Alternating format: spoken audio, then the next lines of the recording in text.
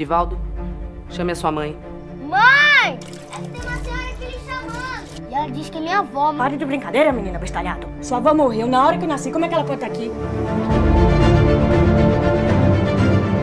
Esse menino tem uma visão atrás da outra. Você já nasceu um médium. Agora precisa se tornar um verdadeiro espírita. Já entendi que ele não nasceu para ser só meu. Esse menino nasceu para ser de todo mundo. Agora, como você é o mais novo aqui agora, você vai ficar com atendimento no balcão. Já chegou gente. Qual é o seu nome, por favor? Fátima Aparecida de Souza. Eu já vi de tudo nesse balcão. Agora, morto voltar pra pegar pensão é a primeira vez. Senhor, peço tua permissão pra atuar na recuperação desse homem. O senhor é médico, é? Não, dona Marieta. Só mando recados. Bastou esse menino mudar pra cá pra acabar com a minha paz. Posso ficar mais um tempo aqui, Chico, trabalhando com você? Nós somos como dois postes de luz. Precisamos ficar separados para levar luz a mais lugares. A casa tá cheia, você sabe. Eu vou adotar. Como eu fiz com as outras. Está tudo interligado, Divaldo. Sem amor, não há solução. É muito fácil amar o bonzinho. Agora, mérito mesmo vai ter quem amar o ingrato. Temos uma dívida de 400 anos. Onde quer que tu vais? A humilhação, o sofrimento e o desrespeito. Vamos esperar por ti. Eu peço a Deus todos os dias que me dê uma única oportunidade para tocar seu coração. Quem se dedica a enxugar a lágrima do outro não tem tempo para chorar.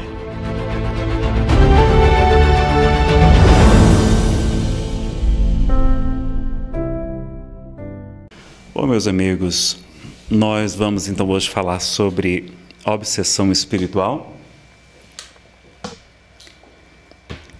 que é a influência espiritual negativa, não é? Alguns, algumas pessoas que não conhecem muito bem o espiritismo chamam de encosto. é? Então a gente vai falar um pouquinho sobre o encosto espiritual hoje.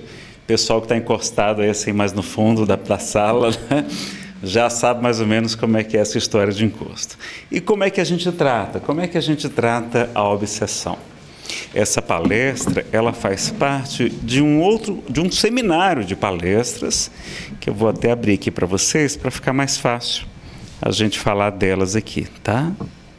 Então, depressão 2017, que acho que é a mais recente essa aqui. O seminário completo, ele se chama Depressão e Alegria de Viver. Então, ficou, cortou aqui. E a gente vai ter uma série de palestras nesse seminário. Ele tem a palestra Depressão Bipolar, Causas e a, o seu tratamento, que é, que é a palestra introdutória, que a gente não vai poder abordar aqui hoje. Aí vem na sequência a palestra de hoje, Obsessão Espiritual, a influência espiritual negativa e o seu tratamento. Depois tem outra palestra só sobre desapego, dificuldades financeiras, a verdadeira riqueza, porque nessa época de tanto desemprego, né, tantos irmãos passando verdadeiras necessidades, endividados, e a gente, como é que a gente pode lidar com essas crises? Então a gente estuda nessa palestra, mostra o, completo e absoluto desapego de Jesus e muitos de seus outros missionários que nos enviou, como Siddhartha Gautama, o Buda e muitos outros, é? Confúcio também, que trouxe lições muito importantes sobre o desapego. Depois a gente tem uma palestra nesse mesmo seminário só sobre autoconhecimento e iluminação interior. Porque o autoconhecimento é o meu prático mais eficaz que tem o homem de melhorar-se nesta vida e de resistir aos arrastamentos do mal. Então, como o assunto é longo, ela acabou virando um seminário de umas oito horas de duração. Também já está disponível, já está gravado em CDs, DVDs, em pendrive, está também no YouTube, você pode procurar lá no canal Nazareno Feitosa, todas elas inclusive. Depois tem uma palestra Depressão e Mediunidade. O que é que depressão tem a ver com mediunidade? E a gente vai verificar aqui a profecia de Joel, que está repetido em Atos dos Apóstolos, que diz que no final dos tempos eu derramarei do meu espírito sobre toda a carne.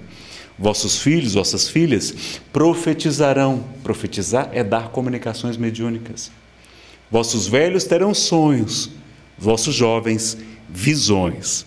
mostrando que a mediunidade, ou pelo menos a sensibilidade mediúnica, ia ficar mais aflorada nesta época de transição planetária, do final dos tempos de expiação em provas para um tempo novo, um tempo de regeneração. E talvez por isso a gente tenha, esteja vendo tanta gente com depressão no planeta como hoje. Nunca tivemos tantos depressivos. Somos quase 500 milhões, quase meio bilhão de depressivos no planeta. E os números só aumentam. O uso de drogas também absurdo, suicídios em larga escala, é como se fosse uma epidemia de obsessão que a gente vai estudar hoje aqui, tá? Então, e curioso que alguns amigos começaram a trabalhar na mediunidade, disseram, Nazareno, depois que eu trabalhei como médium, comecei a trabalhar como médium, acabou minha depressão. Era só realmente um, um personal trainer espiritual, não é?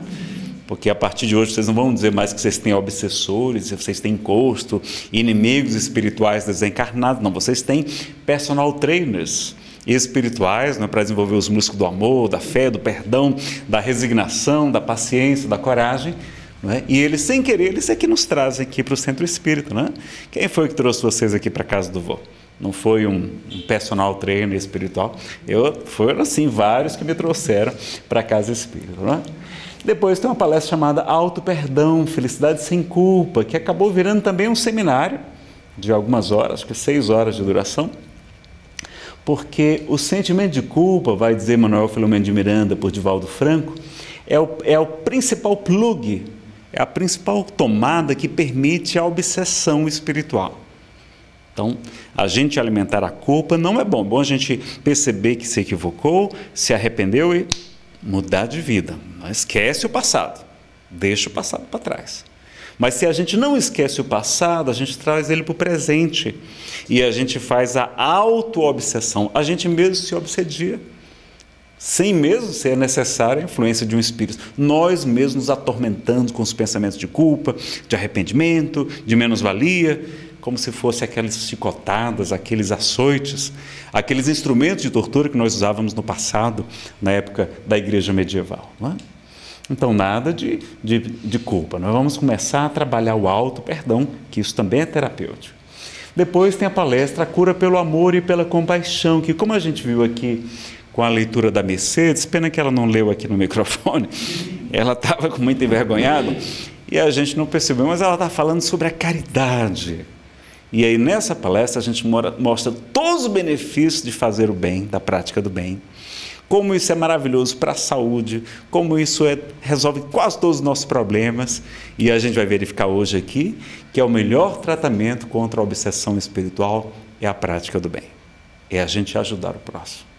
Nosso querido Divaldo Franco, cujo filme está em cartaz, um dos melhores filmes que eu já assisti na vida, não foi filme espírita, não. filme da vida que eu já assisti. Eu já assisti até um bocado. Não tenho muito tempo para filme, não, mas eu já assisti vários. Olha, pessoal, um filho maravilhoso, super leve, super dinâmico. Você ri, você chora o tempo todo, você se emociona, como tem lições belíssimas. Quem aqui já foi para o filme do Divaldo? Levante a mão. Olha, pessoal, pouca gente, pouca gente. Até os desencarnados já foram, mas você não for ainda. Então vamos logo, até quem estiver assistindo pela internet, vá agora. Pausa aí, você assiste depois. Vai ficar gravado aí no YouTube, tá bem no, Facebook. Depois você assiste, vá para o filme agora, porque hoje é o último dia da segunda semana. Porque a cada semana o pessoal do, dos, dos filmes está chegando um filme novo, eles têm que trocar. E os filmes que não tiverem muita audiência, eles vão tirar. Então, para que esse filme possa chegar a mais corações, vá para o cinema quanto antes. Vamos prestigiar. É o melhor filme espírita de todos que eu já vi. Sem dúvida, melhor do que o do Chico, inclusive, que é maravilhoso também. É? Mas é um filme extraordinário. É uma mensagem de esperança. Sabe aquele amigo, aquele familiar que está pensando em depressão, em suicídio? Leve para assistir o filme do Dival. Ele vai sair de lá renovado.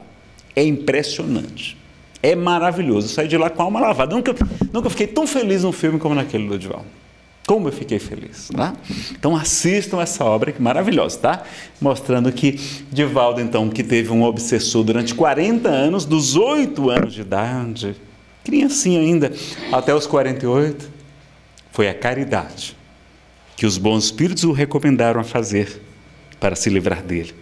E graças à caridade, ele consegue tocar o seu coração. Então não deixem de fazer o bem né? e levar o bem, como a gente viu aqui na mensagem, de todas as maneiras: prece, pensamento, palavras, boas ações, tudo a gente é, a gente pode ajudar de todas as maneiras. Depois tem uma palestra sobre doenças, saúde e tratamentos espirituais. Por que, que a gente adoece? Por que sofremos, não é? Será que os tratamentos espirituais funcionam? Por que, que nem todo mundo fica curado? É? A gente vai ver nessa palestra. Depois tem uma que eu gosto muito, chama Jesus e Alegria de Ver, né? mostrando que tudo que a gente achava que era ruim, com a doutrina espírita, tudo que era ruim, tudo que era péssimo, até um brau que a gente não gostava, a gente vê que tudo é maravilhoso, tudo é para o nosso bem. Tudo, na verdade, é uma coisa boa.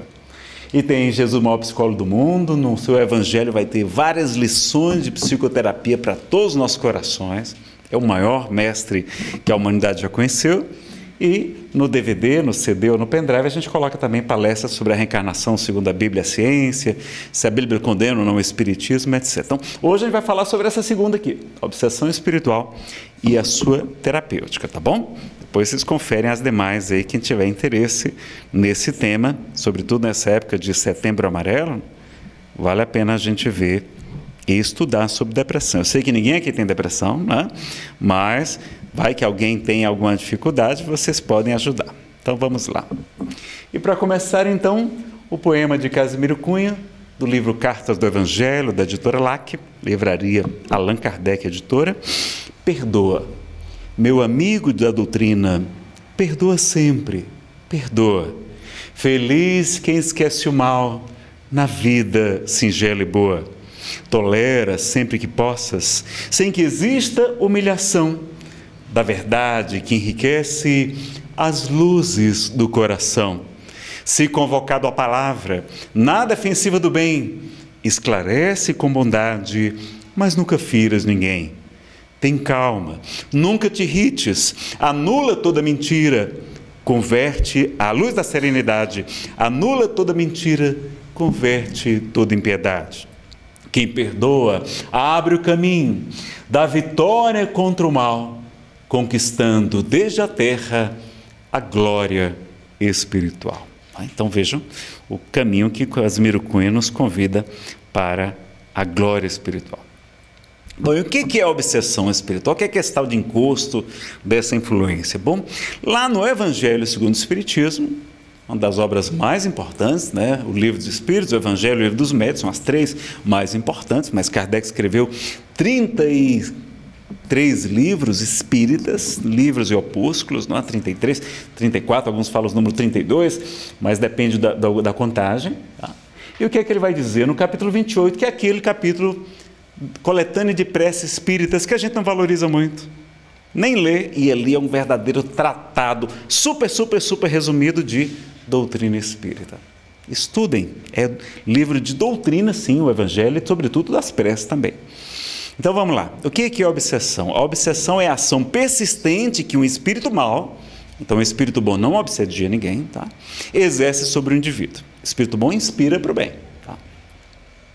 Apresenta caracteres muito diversos, desde a simples influência moral, sem perceptíveis sinais exteriores, então a gente nem percebe, até a perturbação completa do organismo e das faculdades mentais. Então veja o resumo que ele fez sobre a obsessão que a gente vai ver com mais detalhes. Né? E lá em O Livro dos Médiuns, ele vai ter um capítulo só sobre a obsessão dos médiuns, é o capítulo 23. Vamos ver o que é que a gente pode ver nesse capítulo, que tem muita informação. Convido vocês a lerem também, pelo menos o capítulo 23. E lá no Livro dos Espíritos tem, na, perto da questão 459, que a gente vai estudar hoje aqui, até um, um pouquinho mais, vai falar, focar só sobre a obsessão espiritual. Tá? Então é muito importante estudar também essa aula. Nazarene, tem alguma coisa na medicina a respeito disso, como se fosse uma doença? Bom, olha, no CID-10, que é o Código Internacional de Doenças, a gente vai encontrar a palavra possessão. Eles não vão falar possessão por espíritos, né? mas possessão por quê? Possessão em branco, né? Dá, dá para entender que é o quê? Eles, eles falam, e é, e é o que eu, as pessoas, não, está tá, tá possesso, né? Então a pessoa entende que está possuído por um mau espírito, por um demônio, né? como outras religiões chamam os nossos irmãos espíritos atrasados. E está lá no código F44.3 os estados de transe e possessão. Então lá tem, o, o, o, nesse catálogo das doenças, tem dizendo, olha, tem os casos de transe e de possessão. E eles vão analisar. Inclusive está bem parecido também no, no, manual de diagnóstico de doenças da Associação Americana de Psiquiatria, número 4 também. O CID já está no 11, eu não sei como é que vai ficar agora no 11, tá? mas vejam lá como é que está no F44.3. Estado de transe e possessão. Transtornos caracterizados por uma perda transitória, então efêmera, né, passageira da consciência, de sua própria identidade associado a uma conservação perfeita da consciência do meio ambiente. Então aqui a pessoa às vezes tem personalidades múltiplas, né? Uma hora ela é uma pessoa, outra hora ela é outra.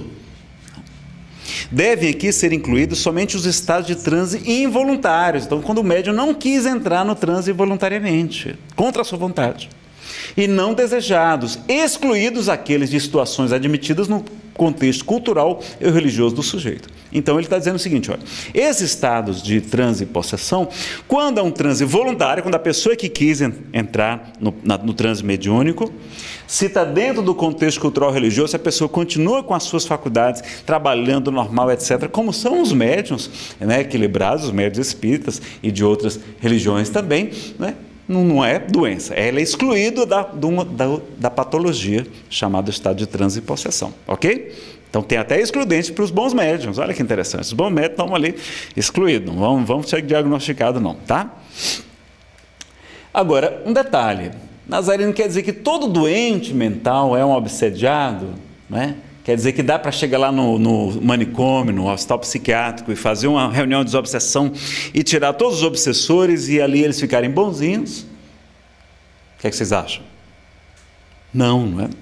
Porque há enfermidades, inclusive enfermidades mentais, que são expiações, né, que são purificações, cuja causa principal não é uma obsessão espiritual. Normalmente tem também.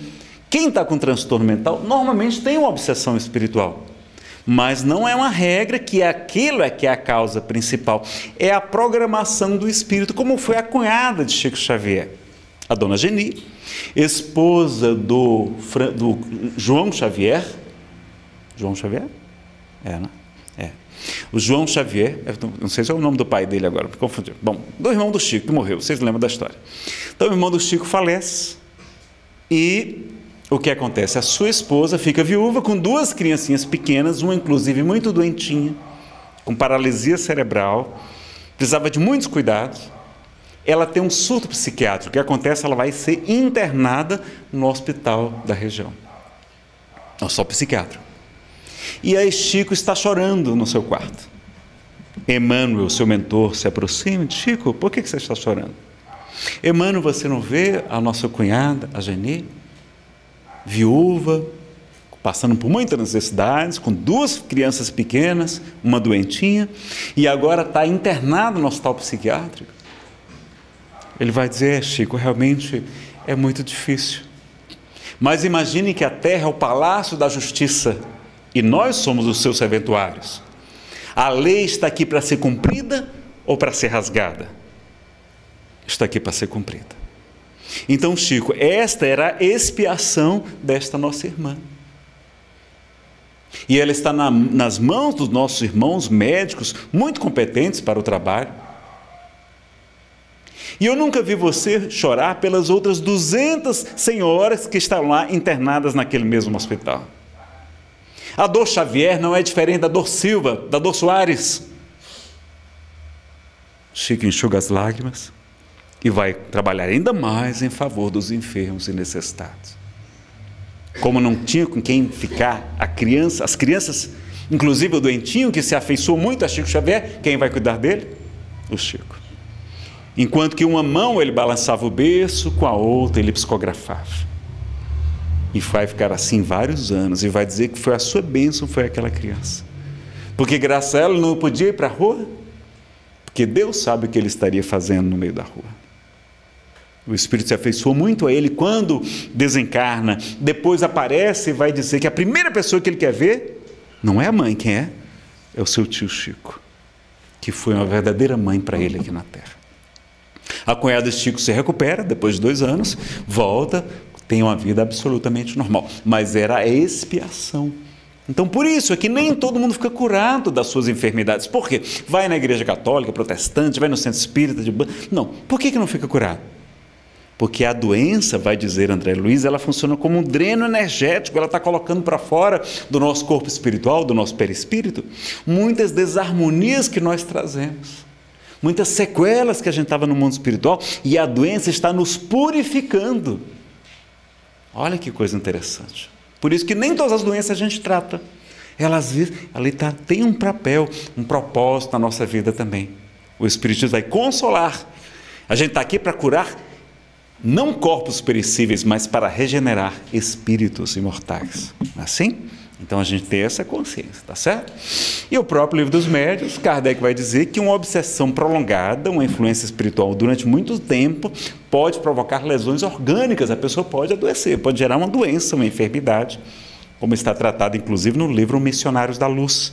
Cinco casos de enfermidades graças à obsessão espiritual. E quais são as causas da obsessão? Bom, tem uma lei de afinidades, né? semelhante atrai semelhante. No livro Ação e Reação, do Espírito André Luiz, muito interessante também, um, um obsessor vai explicar para Gúbio, Gúbio não, para Silas, eu acho, agora são tantos mentores que a gente se confunde, não é? Ou se é Druso, um desses aí, não é? Druso ou Silas é Silas. E aí ele vai dizer, não é? vai contar como é que é o trabalho dos obsessores. E ele vai dizer que existe até uma escola de vingadores, uma escola de obsessores na região espiritual em que ele se encontra.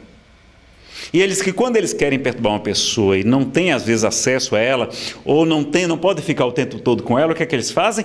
Trazem espíritos semelhantes a ela. Porque eles identificam na pessoa o seu desejo central, ou seja, a sua preocupação principal, a nossa maior encrenca, a nossa maior é, fraqueza. No caso do livro, que eles estão obsediando, é um fazendeiro que o seu problema é a cobiça. É ele muito interessado em ganhar dinheiro, na usura, de ganhar até a propriedadezinha, e eles trazem espíritos assim também, com aquela mesma afinidade, para amplificar o problema dele e prejudicá-lo. Então, se você tem problema na área da sexualidade, vai ser naquela área que eles vão tentar atuar. Se o seu problema é maledicência, se é orgulho, se é o egoísmo, se o que é, não é? preguiça, o que você tiver de sua encrenca principal nessa vida, eles vão tentar buscar espíritos para amplificar aquilo, é? e pela lei de, de afinidades a gente vai piorar daquela questão, tá? Normalmente é uma lei de causa e efeito, então muitas vezes são vinganças, tá? Os nossos chamados obsessores, nosso encosto, na verdade, são nossas vítimas do passado. Eu fui durante muitos anos doutrinador na reunião mediúnica, né? Hoje a gente chama dialogador ou esclarecedor. E era, às vezes, a história que o Espírito contava para a gente lá, por que, que ele estava obsediando a pessoa, era tão triste, a gente ficava com pena do Espírito e com raiva da pessoa. Ah, foi mesmo, ele fez isso. Pô, ele contava a história dele. Era impressionante. Então, na verdade, eles não. Nós não somos, nós não somos vítimas é, inocentes, não, pessoal. Deus perfeito, soberanamente justo e soberanamente bom. Não há ninguém mais justo nem mais bondoso que o nosso Pai. Vai permitir que a gente seja perturbado sem ter culpa no cartório? Vocês acham mesmo isso? Então, do mesmo modo que ele respeita o livre-arbítrio da gente, não respeita o meu livre-arbítrio? Ele respeita daquele aquele a quem a gente prejudicou um dia. Enquanto ele quiser perturbar a gente, ele vai ficar pelo menos tentando. Porque a gente cabe a nós dar acesso a eles ou não. A gente é que abre a guarda, né? abre a tomada para permitir isso, tá? E tem as causas atuais, então tem causas desta vida, e as causas anteriores das aflições, vai dizer o Evangelho segundo o Espiritismo, que a gente tem que investigar. Se há, o efeito, todo efeito tem uma causa. Se, o, se a causa não está nessa vida, deve estar em vidas passadas. Ok? Então, essa é principal informação. Agora, nem todos são vinganças. Por exemplo, há espíritos que são inimigos do Cristo. Aí eles vão atacar a Igreja Católica, os protestantes, os centros espíritas, vão fazer mal para a gente. Não é? Hoje eu vim para cá Impressionante, hoje, ontem eu fiz uma palestra maravilhosa, fiquei muito, me sentindo muito à vontade lá no André Luiz. Brinquei com a palestra como nunca, foi muito leve, as pessoas ficaram é, tocadas, assim, aquele dia que a gente não, não é a gente, a gente está inspirado assim, pelos bons espíritos. Né? Aí hoje, não, hoje, hoje no dia seguinte, o pessoal que está assistindo pela internet vai assistir outra, a mesma palestra repetida, não, vou fazer um tema diferente.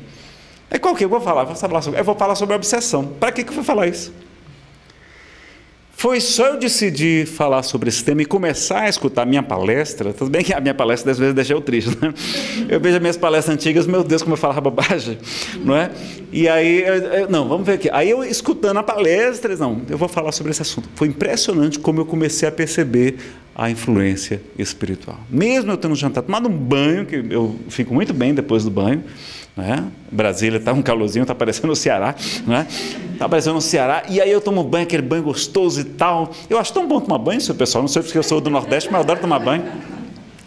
E aí eu saí do banho, comi, olha como cearense adora comer, né? comi satisfeito, vim para cá no ar-condicionado, no carro, e aquela tristeza batendo em mim, batendo a influência. Aí eu falei para cometer até com a Vilma, fui conversar com a Vilma, não foi? Aí eu, o Mercedes, eu falei, olha, então, não, se é sobre esse tema que eles estão assim incomodados, foi esse tema que eu vou falar mesmo. Então, que vem assim mesmo, não é? Aí foi só começar, já a espiritualidade da amiga já nos, nos protege, a gente já ficou muito melhor, graças a Deus. Né? Também recebeu um abraço da Mercedes, hoje é aniversário da Vilma, hoje é aniversário da Vilma. Tem até amendoim doce ali, amendoim cri-cri que chama no Mato Grosso, né? Então, aniversário da Vilma e tal, eu soube que vai ter um bolo maravilhoso. Não sei se é fluídico, né? Não engorda. É, é bolo fluídico, então não engorda. Pena que não, não dá para sentir o gosto, né? Então vamos lá. Então vamos lá. E aí no livro dos Espíritos, é que nessa segunda parte, ou seja, no segundo livro, o livro dos Espíritos, são quatro livros em um. Então, leia lá, nem que seja um deles, você vai gostar de pelo menos um deles, você vai gostar. O mais importante é o terceiro, é as leis morais, tá? Nessa segunda parte, ou segundo livro, tem a intervenção dos espíritos no mundo corpóreo. Aí tem a penetração dos espíritos nos nossos pensamentos, influência oculta, aquela influência que a gente não percebe dos espíritos em nossos pensamentos e atos, e os casos dos processos, né? que Kardec vai estudar também. Né?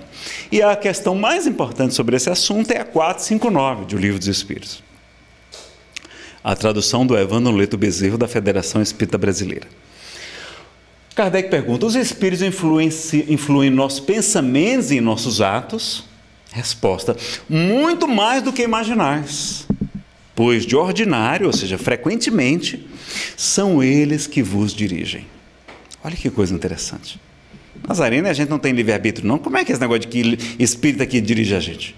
A gente tem o livre-arbítrio. É como se fosse a gente pudesse escolher o, a frequência da rádio que a gente está no carro, assim, não é? Então você pode escolher sintonizar na rádio dos bons pensamentos, da alegria, da esperança, da fé, da resignação, da coragem, do amor, do perdão. E aí você vai receber a influência dos bons espíritos. Mas você pode escolher, não, eu vou ficar com raiva, ficar né, alimentando pensamentos negativos, aí você vai mudar a frequência para sintonizar com os pensamentos de ódio, de inveja, de ciúme, de vingança, de maledicência, etc., de desânimo, de depressão, e você vai sintonizar com espíritos que pensam parecido. Então está nas nossas mãos. Eles apenas vão amplificar aquilo que você dá, dá brecha para pensar. Tá? Então por isso que é tão importante o vigiar, vigiar os vossos pensamentos. Né?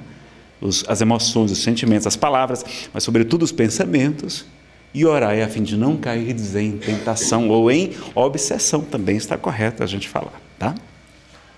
E olha que coisa curiosa, Emmanuel vai dizer, por Chico Xavier, que três em cada quatro dos que desencarnam aqui na Terra não vão de imediato para as colônias espirituais, superiores ou inferiores, não. Ou seja, quando a gente desencarna, de cada quatro, três continuam aqui ainda na Terra com a gente na nossa casa, no nosso ambiente de trabalho, apegado à, à viúva ou ao viúvo, aos filhos. E aí a gente fica ali atordoado, muitos não sabem nem que desencarnaram. É muito comum na reunião mediúnica a gente atender espírito que não sabe que já morreu. Você tem que falar com muito jeito, às vezes você nem pode nem falar, vem a inspiração é, para você falar ou não mas você vai auxiliando. Então, é muito comum que as pessoas não acreditam no mundo espiritual. Se veem do outro lado da vida com essa mesma roupa, com o mesmo corpo, o corpo espiritual, acham que estão vivos. Eles ficam como se fossem sonhando ou tendo um pesadelo, eles não sabem se enlouqueceram ou se estão sonhando. Eles falam com a gente, a gente não responde. E eles ficam atordoados. Então você já sabe agora, não é? Se começar a conversar com as pessoas e elas não responderem, atenção. Pode ser que você já esteja do lado de lá, não é? Eu falei isso lá no estudo sistematizado da doutrina espírita na comunhão. Eu sou da comunhão, tá? Não estou mais na FEDEF oficialmente, não só colaboro quando precisa. E aí a gente. É, eu falei dessa história, aí um senhor levantou o braço, um dos alunos, assim, Nazareno, pois eu acho que eu já desencarnei. É, mas como? É porque lá em casa eu falo, falo, falo, minha mulher me escuta, meus filhos me obedecem, eu já acho que já desencarnei, né? Então às vezes acontece ainda encarnados, tá? Então é lembrar, onde está teu tesouro, está também teu coração, teu espírito está lá. Jesus fala isso, não é? Onde está teu tesouro? Então, quem é muito apegado aos bens materiais vai ficar aqui no tempo, demora um pouquinho até ir para as colunas superiores ou inferiores, tá joia? Então vejam como é importante então o culto do evangelho no lar. Uma vez por semana, 20 minutinhos é suficiente. A gente lê um trecho do Evangelho segundo o Espiritismo, faz uma prece, reflete sobre aquelas palavras, não é para ficar lavando roupa suja, está vendo? Isso aqui é com você, né? Está vendo aqui, né? Não, não é para fazer isso, não é? Mas é para, então, refletir, meditar, fazer a nossa reforma íntima, é? Naquela hora que a gente fala em voz alta, os espíritos que estão ali meio atordoados, às vezes parentes nossos, pessoas queridas nossas, mas como estão desarmonizadas, estão adoecendo a gente, estão deixando a gente com depressão, com doentes, a gente fica doente por causa da doença deles. Então, importância de que do evangelho lá, a hora que eles ouvem, porque eles não conseguem ler nossas mentes direito ainda, aí eles se melhoram. E eles assim são auxiliados pela equipe espiritual que vem toda semana, naquele dia, naquela hora certa. Qual é o dia que vocês fazem? Não começou ainda não? Então comece hoje. Depois você muda o dia, você quiser. Mas comece hoje. Senão você não começa, tá? Mas tem que ter um dia certo. Lá primeiro, eu com a minha esposa toda quinta-feira, né? nove e meia da noite a gente faz lá. E como é que se instala a obsessão? Então, o livro dos médios vai dizer que tem tomadas psíquicas, né? aliás, essa expressão é do Manuel Filomeno de Miranda, por Divaldo Franco, que são as imperfeições morais. O nosso defeito é que permite a obsessão espiritual. Então, se eu tenho uma inveja, os espíritos vão aproveitar e conectar com a minha inveja. Os invejosos, sobretudo. Né? Se é o orgulho, se é isso, se é a preguiça, eles vão, opa, é aqui mesmo. Então, melhor maneira é a gente fazer a reforma íntima para não oferecer mais essas imperfeições morais. Só claro que a gente demora um pouquinho para se livrar de todas elas. Né? A principal, diz dos Médios, é o orgulho. Diz que entre as muitas imperfeições morais que os espíritos desencarnados se aproveitam como se fossem portas abertas, Há que se aproveita com mais frequência e mais facilidade é o orgulho. Porque é o defeito que a criatura menos admite, menos reconhece que tem. Né? Então, olha lá o perigo do orgulho. Tá aqui. Então, Manuel Filomeno ressalta o sentimento de culpa também no livro Após a Tempestade, a mentora de Edivaldo, Joana de Ângeles, que está maravilhosa no filme de Edivaldo, viu? A atriz que faz, está linda, como ficou bem feito. Edivaldo diz que é a cara de Joana de Ângeles mesmo ficou emocionado quando viu ela vestida de Joana de Ângeles no, no set de filmagem, é? ele ficou muito feliz com o filme. Vamos prestigiar o nosso querido Dino, a gente fazer uma homenagem ainda em vida, a gente só faz depois que a pessoa morre. Né? Homenagem em vida, não por ele, mas pelo trabalho, pelo exemplo que ele traz para todos nós. Né? 92 anos de luz aí para todos nós. Então vamos conferir. Então ela vai dizer no livro Após, Após a Tempestade que drogas, uso de drogas, abrem frestas nos perispíritos, provocando né, obsessões muito pertinazes, muito sérias. Então, muito cuidado com, com sobretudo o álcool, que é a pior das drogas. É que mata mais é o álcool acidente, é, homicídios, etc. Até suicídio a pessoa usa o álcool muitas vezes antes de cometer suicídio. Tá? Então, cuidado com o álcool. O Alberto Almeida fala ainda também de terapia de regressão a vidas passadas mal conduzida. Então, isso aqui, isso aqui só deve ser feito nos casos bem indicados, são muito poucos que, merecem a regressão, só nos casos de doenças mesmo, de traumas que não respondem à psicoterapia tradicional, e só por profissionais da área de saúde, gente competente, tem muito aventureiro ganhando dinheiro, né? e não é bom lembrar do passado. Tá? A gente não vai fazer turismo espiritual, nós vamos lembrar de episódios de traumáticos. A gente vai lembrar de mortes violentas, de suicídios, de decepções muito graves. É terrível, já fiz regressão, já fiz o curso, inclusive, não faço a regressão, é? mas fiz o curso para conhecer na época que eu fazia psicologia. Tá? Condicionamento psicológico, então cuidado com a auto-obsessão, como a gente falou. Tem uns tipos de obsessão, Tem a obsessão simples, não é? Kardec faz essa categorização no livro dos médios. Então, a simples, o nome já está dizendo, aquela coisinha mais tranquila, não é? A fascinação que muitas vezes acomete os médios, então o espírito começa a estimular o orgulho dele, o espírito diz que é fulano de tal, assina como no bonito Adolfo Bezerra Menezes de Cavalcante, né? Bezerra de Menezes. Aí você vai ver a mensagem, não parece nem com a mensagem da Bezerra do Menezes. Então, cuidado, não é? Quando o espírito usa um nome muito chique, muito famoso, a gente tem que ficar com as, todas as orelhas em pé, tá? Então, muito cuidado, o Espírito Superior não precisa nem assinar a mensagem, realmente só se tiver um propósito útil, tá?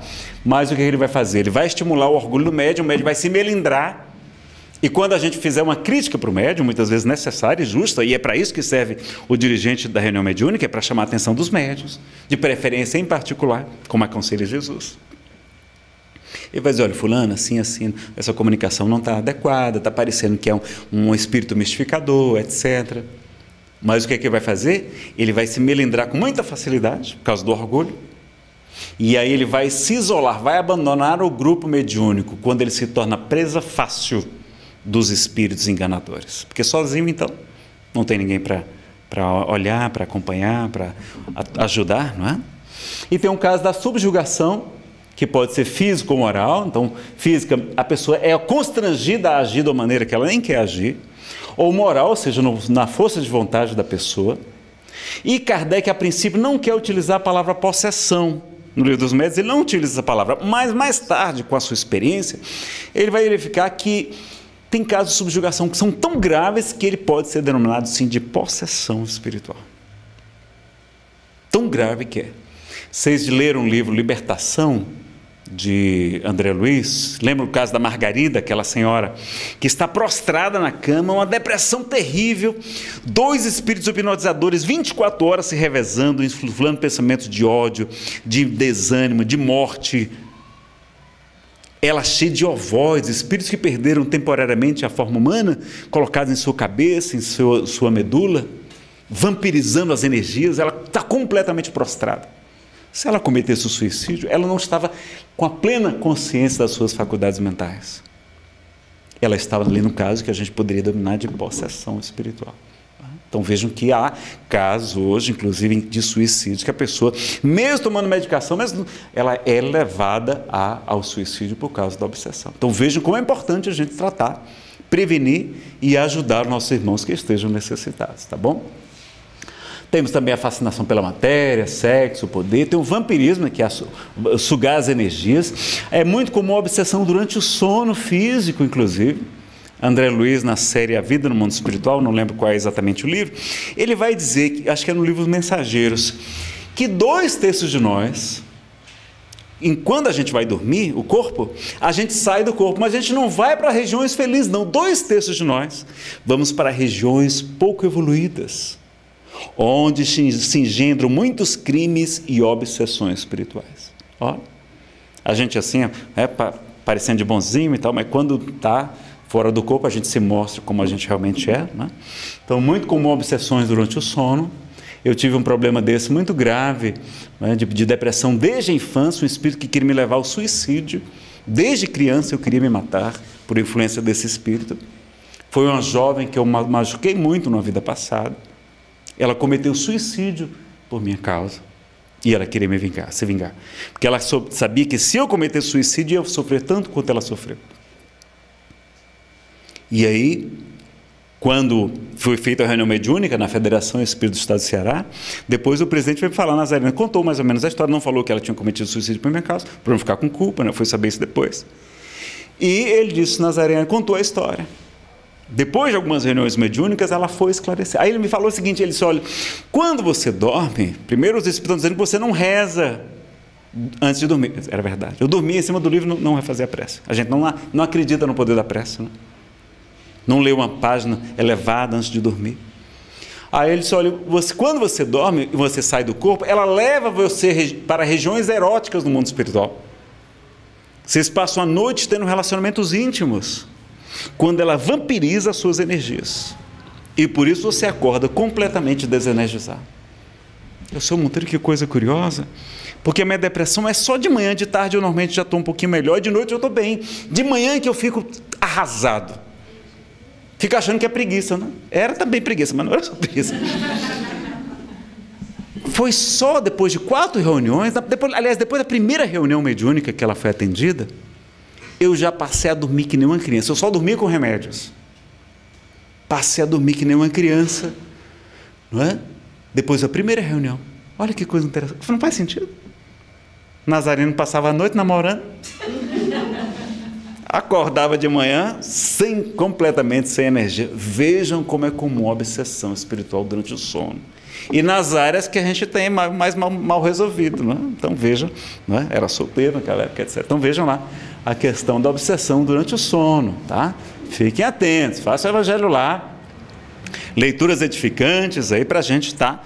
Tem a influência sutil e a auto-obsessão, já comentamos aqui. Essa obra é maravilhosa, da doutora Marlene Rossi Silverino Nobre, hoje ela já está no mundo espiritual, certamente trabalhando lá, da Folha Espírita, editora jornalística, Obsessão e Suas Máscaras. Ela vai pegar na obra de André Luiz e vai fazer uma, um catálogo dos vários tipos de diferentes de obsessão que André Luiz traz para a gente. Dezenas de tipos aqui. Vamos ver isso aqui rapidinho, não vou poder comentá-los. Mas veja lá. Primeiro, de, a de efeitos inteligentes, vai mostrar que a obsessão telepática, no caso, ela mostra com os casos dos livros, tá? Autoobsessão, personalidade antiga cristalizada, uma fixação mental, Possessão partilhada, que é o Parceiros no Vício, aqui esse é o caso do, do livro Sexo e Destino, do Cláudio do Moreira, um encarnado e um desencarnado, um, os dois bebendo juntos, não é? Então por isso que é possessão partilhada.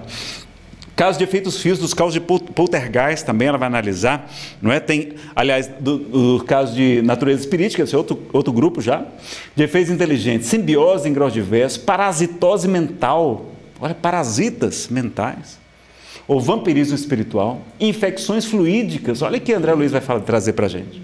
Fixação mental, patologias do corpo espiritual no perispírito, parasitas ovoides, deformações no corpo espiritual e a zoantropia, a licantropia, quando o espírito perde a forma humana e assume a forma de animais. E por isso que tem essas lendas aí do lobisomem, do vampiro e etc. Né?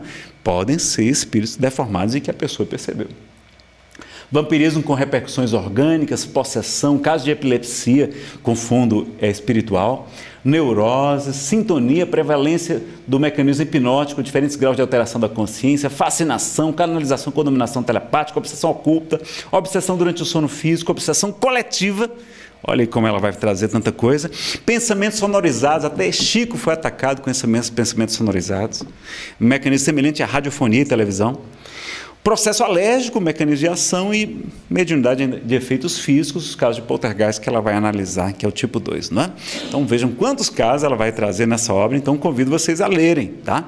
Tem inclusive na internet o seminário, acho que está no YouTube, vocês podem encontrar também a Obsessão em Suas Máscaras, da doutora Marlene Nobre. Tem também a vida, a nossa vida no além, que é um livro dela, inclusive, mostrando como é que é a nossa vida fora do corpo. É muito legal, tá? Baseado também nas obras de André Luiz. Muito interessante. Então vamos lá, obsessão simples. O Emmanuel vai dizer que funciona como se fosse uma. Hoje é um pingo de sombra, amanhã é linha firme, de, para depois fazer esse painel vigoroso, do qual auxiliamos apelos infelizes que nos aprisionam em turbilhões de trevas. Olha, do livro Pensamento e Vida. Então começa como um pinguinho de sombra, mas vai aumentando à medida que encontra espaço em nós. Não é? A fascinação, não, já, já falamos aqui, não é? a pessoa se isola e se abandona o grupo. Obsessor, já falamos do livre-arbítrio, Deus respeita o livre-arbítrio dele também. Tá? Mas veja, o Divaldo teve um obsessor durante 40 anos, mas o Divaldo não permitia, na maioria das vezes, a influência deles. Vocês vão ver no filme que tem momentos que ele consegue influenciar o Divaldo. É bem interessante, tá? Mas a gente pode, você pode ter 200 obsessores e não estar obsedado. Você pode estar tão bem numa frequência vibratória elevada, etc., sem dar aso com as suas imperfeições morais para a influência dos espíritos, que você fica protegido. É claro também, se você está num trabalho, aqui num trabalho mediúnico, trabalho na casa espírita, né, de palestras, etc., o trabalhador espírita, bem claro, merece proteção. E de outras religiões também, todos, claro, né, meus amigos? Várias vinculações, então a gente tem muitos problemas nas lesões afetivas, e como a gente tem sido irresponsável no sentimento, isso aqui é uma grande fonte de obsessão. Acho que as mais graves são as lesões afetivas. Era o meu caso com aquela moça. Né? vinculações sexuais, vícios, não é? abortos também. É muito comum que o espírito é, abortado ele não perdoe sua mãezinha, não perdoe o pai, não perdoe a equipe médica e persiga. É? Então é muito importante. E a gente aprender a perdoar nossos obsessores. Né? Eles são nossos personal trainers espirituais. Está ali o Gasparzinho. A Mercedes não está vendo, né? Senta aqui mais para cá, Mercedes. Está aqui. Tá. Então vamos lá. Então veja lá o crescimento da depressão, é um número muito alto, já falamos aqui também. E olha o que, que o livro A Gênesis vai dizer: que de tempos em tempos a obsessão espiritual assume caráter epidêmico, diz Allan Kardec. Ou seja, é como se fosse naqueles períodos de guerra, vem verdadeiras nuvens de espíritos atrasados para nos influenciar para a guerra. E a gente cai naquela sintonia também. É? Então, o cuidado. Agora também nós temos onda de suicídios no planeta. Será que também não há epidemia de obsessão espiritual? Eu acho que é.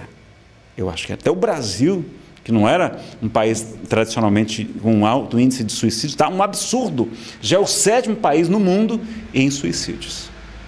Inclusive na Polícia Federal, onde eu trabalho, em muitos casos. A pessoa tem arma, olha o perigo de ter arma em casa. A pessoa, a arma não serve para defender a gente.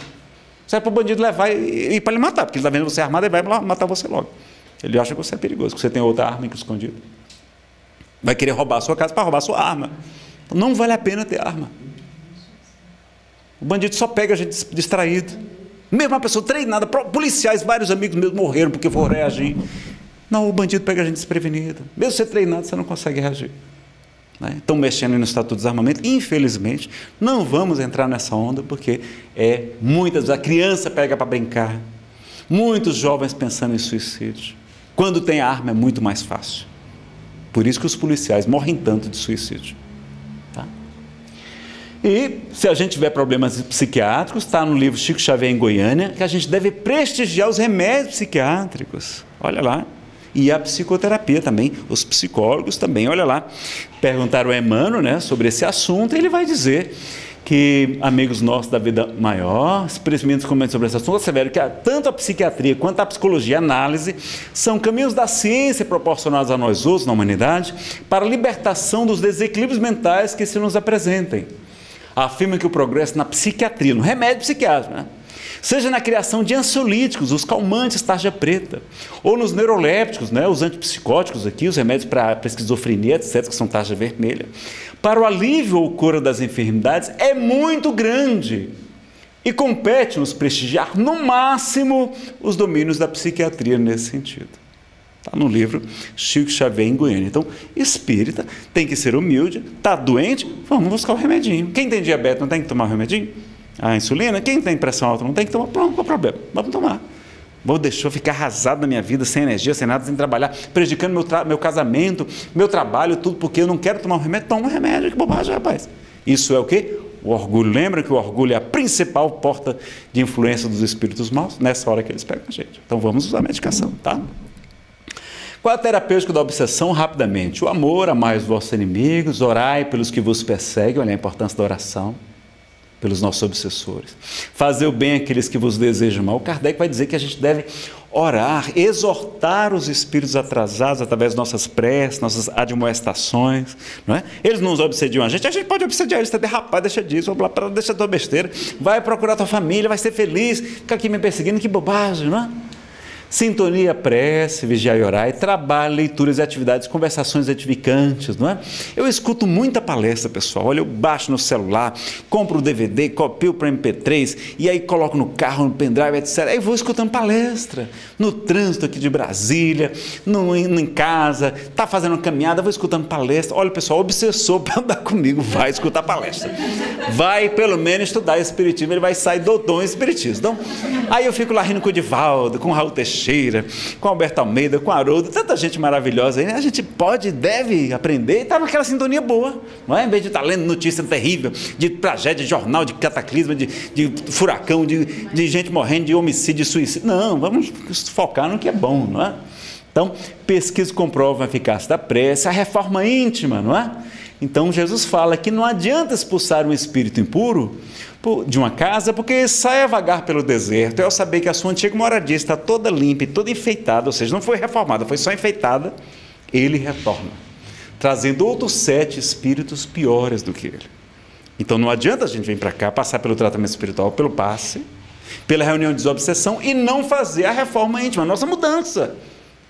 A gente vai continuar, a gente trata aqueles espíritos, você vai atrair outros e assim por diante. Então é melhor a gente fazer as duas coisas juntos. Não é?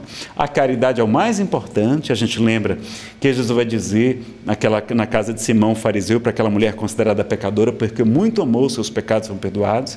Está lá na primeira epístola de Pedro 4,8: Meus amigos, amai intensamente, porque a caridade cobre uma multidão de pecados. O estudo Conhecereis a verdade, a verdade vos libertará. Divaldo fala que nas sessões de estudo, de palestra, de seminário, de congresso, ocorrem verdadeiras desobsessões. Ele é médio vidente, ele vê os, os bons espíritos atendendo todos nós, encarnados e desencarnados. Nas palestras, inclusive. Aqui é desobsessão, olha. E aí tem as várias recomendações do capítulo 23, que a gente vai falar rápido, por causa do horário. Então, paciência, Kardec recomenda paciência, olha lá. Primeira coisa que ele recomenda é paciência. Quando o Espírito percebe que não adianta perturbar a gente, que a gente está resignado, que a gente está firme, não, eu não vou mudar, vou fazer a palestra sobre a obsessão, querendo você não quer. Aí ele desiste. Pronto, desistiram. Não é? Então, paciência. A prática do bem, evangelizar o obsessor, desobsessão. Então, uma reunião privativa, a gente atender os, os obsessores com os médios. Então, é muito importante trabalhar como médium também, ajudando e pedir às casas espíritas, tem reuniões de desobsessão para a gente ser ajudado, os passes. Kardec recomenda que nos casos de subjugação há uma carência de fluido vital e é importante a ação de um bom magnetizador. Né? Culto evangelho lá, o auto perdão, psicoterapia também para você ajudar suas encrencas aí. A reforma íntima e oração, esse jejum diferente, aqui a campanha permanente do culto do evangelho lá e no coração da Federação Brasileira. Pode haver recidiva, a pessoa pode ficar boa e ficar ruim de novo? Pode, pessoal. Eu tinha ficado bonzinho lá em Fortaleza. Tanto que a minha médica psiquiátrica, nós vamos tirar seu remédio. Eu fiquei ótimo depois de fazer aquele tratamento, me tornei voluntário, trabalhando no casa espírita, super empolgado. Passei quatro anos super bem sem tomar mais remédio psiquiátrico, eu que tinha tomado já muitos anos, durante muitos anos. E aí, quando os bons espíritos me ajudaram a passar no concurso, eles me ajudaram a passar em dois concursos. Olha lá, providência divina faço bem que os espíritos ajudam. Aí eu vim morar em Brasília, eu adoro Brasília, adoro. Ah, só, o único defeito é que a família não está aqui. E não tem praia. Mas o resto é maravilhoso, seguro, etc., organizado. E aí eu aqui, né, em Brasília, comecei a ficar romântico de novo. Esse menino tinha ficado bom no tratamento espiritual. Como é que eu estou tendo depressão de novo? Não é porque aqueles poetas, pintores, artistas do passado, era tudo depressivo, mas não tinha a palavra depressão. A palavra depressão é recente, é do século XX para cá. Eles eram chamados de quê? De românticos, não é? Aí eu comecei a ficar romântico, então, meu Deus, eu ficado, e aí fiquei ali confuso, né?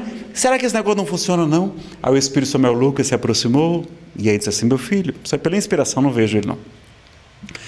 É, é porque Deus jamais nos dá fardos que nós não possamos suportar. Ele é infinitamente bom e justo, não é? Ele não permite que todas as nossas vítimas do passado nos encontrem de uma vez que nós não dava conta, não é?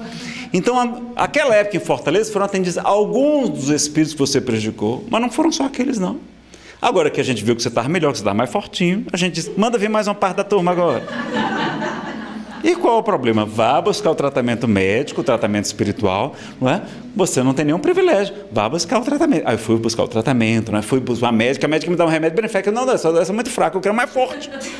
Ela, mas por que, meu filho? Porque, doutora, eu não posso ficar em casa pensando na morte da bezerra. Não, eu preciso trabalhar porque eu sei que a caridade é que cobra a multidão de pecados. Eu quero ter mais energia, doutor. Me passa um remédio mais forte. Aí ela me passou um remédio melhor. E aí faço o acompanhamento médico, graças a Deus, tem a medicação para nos ajudar, nos aliviar. Não é? O caso do Divaldo, então, vocês vão ver no filme, ele o Máscara de Ferro, 40 anos de obsessão espiritual, e o melhor desobsessão que eu conheço é o esquecimento do passado. Samuel Lucas me fala isso, eu concordo com ele. Como é que a gente esquece o passado? Através da reencarnação. Então, tenha filhos biológicos, se você puder. Melhor coisa do mundo. Porque Jesus manda a gente amar os inimigos. Como é que a gente vai amar os inimigos? A gente não vai amar nunca o inimigo, né? Mas se ele vier como nosso filhinho, aquela coisa mais linda do mundo, aquele chamego, aquela coisa, você, ele esquece de tudo, você esqueceu de tudo também. Você ama o inimigo, que maravilha que é a reencarnação. É a melhor desobsessão que eu conheço. Antigamente o pessoal tinha 10, 20, 30 filhos, ninguém tinha obsessão. Agora o pessoal não quer nem casar, nem ter filho. Aí está o, o centro espírita assim lotado, a fila para tomar passe, para fazer. Não. Vamos ter filhos, pessoal. Melhor coisa do mundo é ter filho. Olha que maravilha. Graças a Deus, né? Ou adotar, apadrinhar, ajudar as crianças. Vamos ajudar as crianças, né? Então tá aí Jesus dizendo: reconciliai-vos depressa com vosso irmão, porque eu vos digo verdade que dali não saireis até que tenhais pago o último centavo. Amai os vossos inimigos, fazei o bem àqueles que vos odeiam e orai por aqueles que vos perseguem e vos caluniam. E qual a melhor maneira de afastar os maus espíritos? Para a gente encerrar, Livro dos Médicos, capítulo 23, qual a melhor maneira de afastar os maus espíritos? Mais importante da palestra. Ninguém lembra? Questão 252. Ressalta que fica dito o ensinamento de grande alcance, que as imperfeições morais, que os nossos defeitos, dão aso, elas permitem a ação dos espíritos obsessores. E que o mais seguro meio da pessoa se livrar deles é atrair os bons espíritos pela prática do bem. Então, quando a gente vai fazer o bem, quando a gente vem para a casa espírita para se evangelizar, para se tornar uma pessoa melhor, isso é caridade para nós mesmos. Nós somos acompanhados dos espíritos superiores e a presença deles é que é capaz de afastar os espíritos maus. Qual foi o conselho de Jonas de Anjos Padivaldo? Caridade. Caridade. É? Então, lembrar disso, não é? E a gente lembrar, então, do poema. Aqui Jesus fala, né? Cada um segundo suas obras. Por essa razão eu te digo que seus numerosos pecados estão perdoados, porque ela demonstrou muito amor. Acima de tudo, cultivai com todo o ardor o amor mútuo, porque a caridade cobre uma multidão de pecados. Não está escrito, vós sois Deus? Está lá no Salmo 82, né? Vós sois Deus e filhos do Altíssimo, todos vós. Na verdade, na verdade vos digo que aquele que crê em mim também fará as obras que eu faço e as fará maiores do que estas. Vós sois o sal da terra, o fermento da massa, a luz do mundo. Brilha a vossa luz e resplandeçam vossas boas obras diante dos homens, para que eles glorifiquem a Deus, nosso Pai que está nos céus. E para a gente falar com o nosso obsessor, convidá-lo para o bem, a gente deve lembrar do, do poema de Maria Dolores, chamado Cantiga do Perdão, do livro Antologia da Espiritualidade, Psicografia de Chico Xavier. Não te iludas, amigo, por mais se expandam lágrimas contigo, todo lamento é vão tudo que tende para a perfeição, tudo bem que aparece e persiste no mundo, vive do entendimento harmônico e profundo através do perdão. Perdão que lembra o sol no firmamento, sem se fazer pagar pelo foco opulento, a vencer dia a dia a escuridão da noite, insondável e fria, e a nutrir no seu longo itinerário o verme e a flor, o charco e o pó, o ninho e a fonte, de horizonte a horizonte, quanto for necessário Perdão que nos destaque a lição recebida. Na umidade da rosa, bênção do céu, estrela retinosa, que ao invés de pousar sobre o diamante, desabrocha no espinho. Como dizer que a vida, de caminho a caminho, não despreza ninguém. E bela, generosa, alta e fecunda, quer que toda maldade se transfunda na grandeza do bem. Perdão que se reporte à brandura da terra pisoteada, esquecida heroína de paciência, que acolhe em toda parte os detritos da morte e sustenta os recursos da existência, mãe escrava sublime de amor mudo que preside em silêncio ao progresso de tudo. Amigo, onde estiveres, assegura a certeza de que o perdão é lei da natureza, segurança de todos os mistérios. Perdoe e seguirás em liberdade, no rumo certo da felicidade, nas menores tarefas que realizes, para lembrar sem sombra os instantes felizes, na seara da luz, na qual a luz de Deus se insinua e reflete. É forçoso exercer o ensino de Jesus, que nos manda perdoar 70 vezes 7 cada ofensa que venha perturbar o nosso coração. Isso vale afirmar, nascendo de ascensão, que em favor da vitória, a que aspiras na luta transitória, é mais do que importante, é essencial que te esqueças por fim de todo mal e que em tudo, no bem que te des, seja aqui, mais além, seja agora ou depois, Deus espera que ajudes e abençoes, compreendendo, amparando e servindo outra vez. Fica o convite de Maria Dolores, Cantiga do Perdão, Chico Xavier. Meus amigos, vamos só assistir um trailer rapidinho do filme do Divaldo, para quem não viu ainda. Bem rápido, está aqui já no ponto para a gente assistir, para vocês acompanharem, prestigiando então esse filme maravilhoso. Divaldo, chame a sua mãe. Mãe! Tem uma senhora aqui lhe chamando. E ela diz que é minha avó. Pare de brincadeira, menina bestalhado. Sua avó morreu na hora que eu nasci. Como é que ela pode estar aqui? Esse menino tem uma visão atrás da outra. Você já nasceu um médium. Agora precisa se tornar o verdadeiro espírita. Já entendi que ele não nasceu para ser só meu. Esse menino nasceu para ser de todo mundo.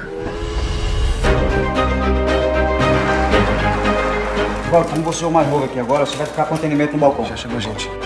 Qual é o seu nome, por favor? Fátima Aparecida de Souza. Eu já vi de tudo nesse balcão. Agora, morto voltar pra pegar pensão é a primeira vez. Senhor, peço tua permissão pra atuar na recuperação desse homem. O senhor é médico, é? Não, dona Marieta. Só mando recados. Bastou esse menino mudar pra cá pra acabar com a minha paz. Posso ficar mais um tempo aqui, Chico, trabalhando com você? Nós somos como dois postes de luz. Precisamos ficar separados para levar luz a mais lugares.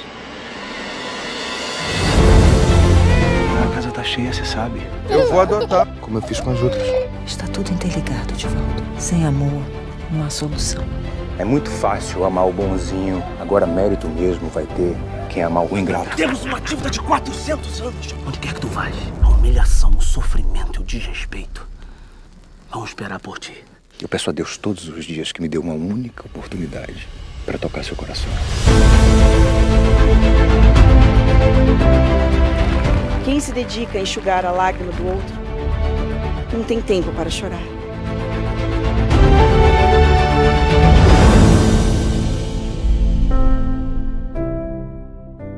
Então já está nos cinemas, estão todos convidados a participar, só nos cinemas. Todos de Brasília. Um recado a mais? Bom, amigos, já, o poema já serviu como prece de encerramento, não já? A gente convida então vocês para o tratamento aí, conduzido aí pela nossa querida Mercedes. E a gente dá um abração de agradecimento. Deus te sempre, tá? Só para alinhar. Obrigada,